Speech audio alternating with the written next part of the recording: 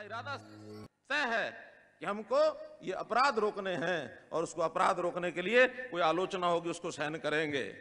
और उस घोषणा को मैं इस तरह कर रहा हूँ कि कोई व्यक्ति जो चार्जशीट जिसके खिलाफ महिला अपराध की हो जाएगी, कोई जो आरोपित व्यक्ति है, चार्जशीटेड है, उस व्यक्ति की, उस व्यक्ति की जब तक निर्णय नहीं हो जाता, तब तक राशन को छोड़कर बाकी जितनी सरकारी सुविधाएँ हैं, उनको बंद कर दिया जाएगा।